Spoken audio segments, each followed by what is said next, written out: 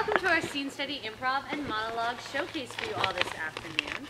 Um, we are going to start with Eli and Alex, and their title is called, or their show, their what? Their scene is called Sure Thing. Please welcome Eli and Alex.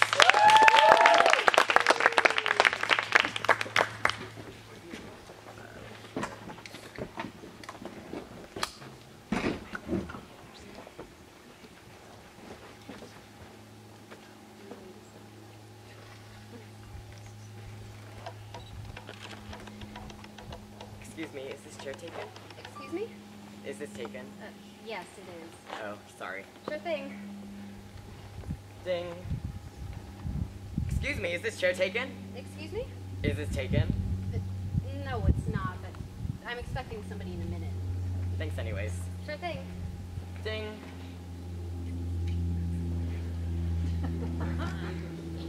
Excuse me, uh, is this chair taken? Uh, no, but I'm expecting somebody shortly. Do you mind if I, uh, just sit here until he or she or it comes? Well, they do seem to be pretty late. You never know who you might be turning down. Sorry. Nice try, though. Sure thing.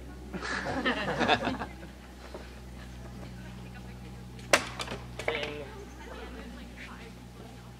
Is this seat taken? No, it's not. Would you mind if I sit here? Yes, I would. Oh, Ding. is this chair taken? No, it's not. Would you mind if I sit here? Ah, go ahead. Thanks. Every place else seems to be taken. Mm-hmm. Great place. Mm-hmm. What's the bug? You know, I just really wanted to be quiet. Oh, If no, you don't mind. sure thing. Ding. Every place else seems to be taken. Mm-hmm. Great place for reading. I like it. What's the book? The Sound and the Fury. Oh, Hemingway. Ding. What's the book? The Sound and the Fury. Oh, Faulkner. Have you read it? Not exactly. Um, I sure read about it though. It's supposed to be great. It is great. I hear it's great. Waiter. What's the book? The Sound and the Fury. Oh, Faulkner. Have you read it? Yeah, I read it in college. Where was college? I went to uh, Oral Roberts University. Ding. Where was college? I was lying. I never went to college. I just like to party. Ding. Where was college? Harvard. Uh, do you like Faulkner? I love Faulkner. He's incredible.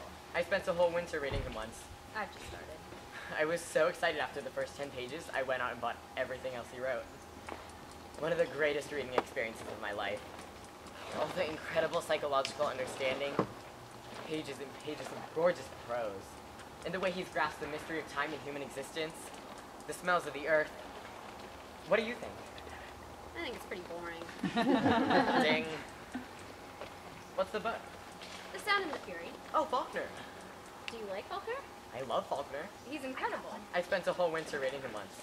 I was so excited after the first 10 pages. I went out and bought everything else he wrote. All the incredible psychological understanding, And the prose is so gorgeous. and the way he's grasped the mystery of time and In human, human existence. existence? you know, I can't believe I waited this long to read him. You never know. You might not have liked him before. That's true. You might not have been ready for him. These things have to hit the right moment or they're no good. That's happened to me.